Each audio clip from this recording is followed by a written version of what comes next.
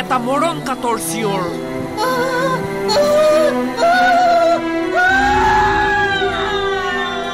বোকাখাটৰ সম্ভ্ৰান্ত পৰিয়ালত নিৰ্যাতনৰ বলি যুৱতী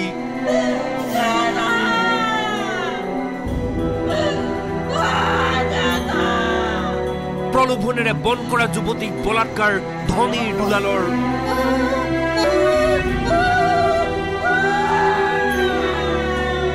বলাৎকাৰ কৰি জীৱন্তে জ্বলাই দিলে ন্যায় বিচৰা যুৱতীক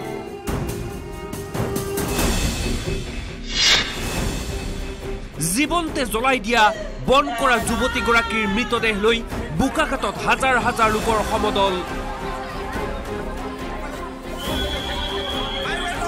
মৃতদেহ লৈ বদন শৰ্মাৰ পদূলিত উপস্থিত হ'ল ৰাইজ।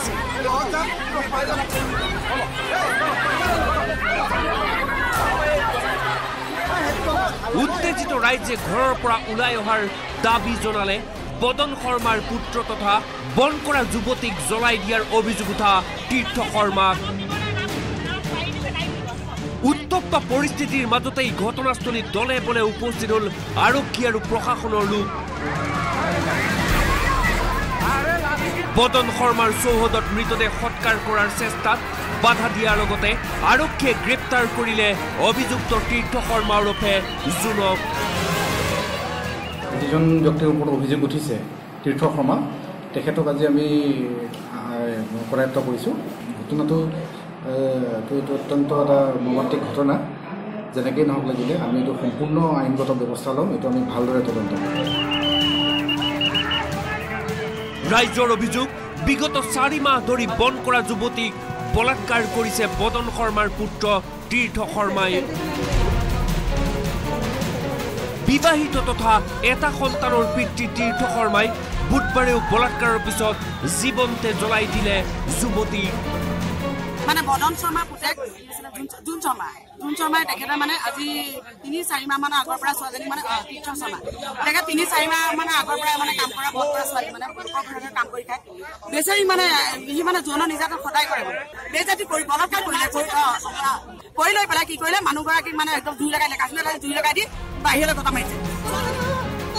পদন শৰ্মাৰ ঘৰৰ সন্মুখত বহু সময় ধৰি পৰি থকা জীৱন্তে জ্বলাই দিয়া যুৱতীক সংকটজনক অৱস্থাত মাতৃৰ লগতে স্থানীয় লোকে উদ্ধাৰ কৰি ভৰ্তি কৰাইছিল চিকিৎসালয়ত।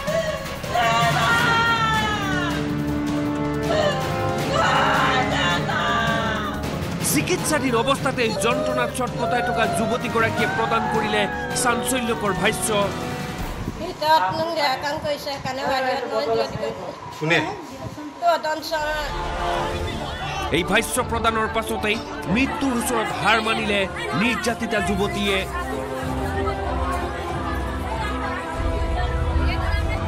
এই খবৰ শুনা মাত্ৰকে উত্তেজিত হৈ পৰিল বোকাখাটৰ ৰাইজ।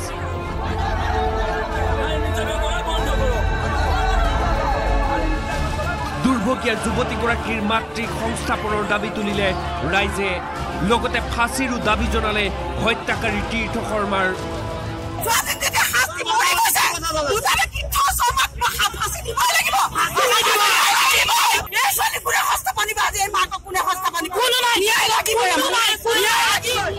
সম্ভ্ৰান্ত পৰিয়ালৰ ঘৰত ঘটা এই বিভৎস ঘটনাই বুধবাৰৰ পৰা বৃহস্পতিবাৰলৈ উত্তপ্ত কৰি ৰাখিলে সমগ্ৰ বোকাখাট চহৰ।